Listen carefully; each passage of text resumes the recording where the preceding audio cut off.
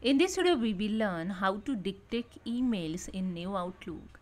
So let's start. Open your New Outlook and go to the Home tab and click on the New option.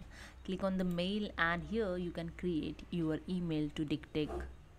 So let's start. So I just go to the Message tab and here you can see in Voice Group have a dictate option.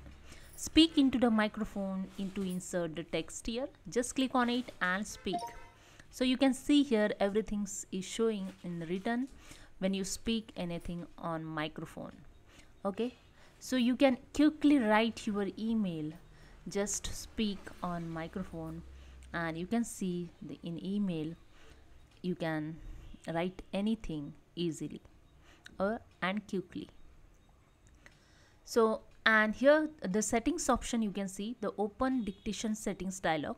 Just click on it and dictation settings dialog box is open. Spoken language you can change here so i just click on this drop down arrow and select here the hindi language. Now you can see everything is and just click on the save. And just click on again dictate and now you can see the everything is written in hindi language. So this is the way you can change the language also. And if you want to stop just close this option.